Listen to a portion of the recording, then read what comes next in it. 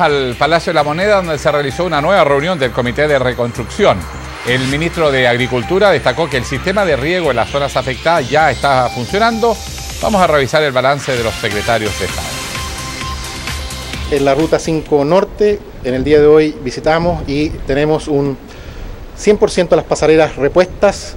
De las 19 que cayeron, 17 ya están repuestas definitivamente y dos de ellas en, con puentes mecanos. En Concepción, ya también se pidieron las cotizaciones y por lo tanto las próximas semanas ya se diera a asignar la estabilización para poder tener los edificios ya estabilizados a fin de año y poder abrir las calles antes de que termine el año, tal como nos ha pedido, ha pedido el presidente. Hemos llegado a un récord absolutamente histórico en Chile.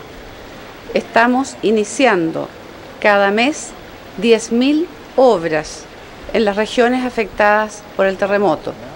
Esto significa que todos los días estamos iniciando obras en 500 lugares distintos de las zonas afectadas por el terremoto.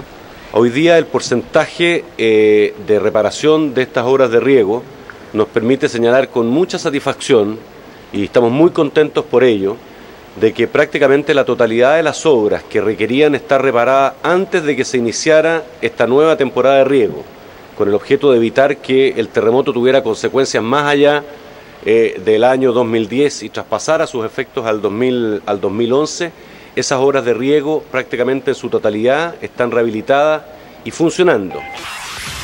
Bueno, y hoy tuvimos otra jornada estremecedora.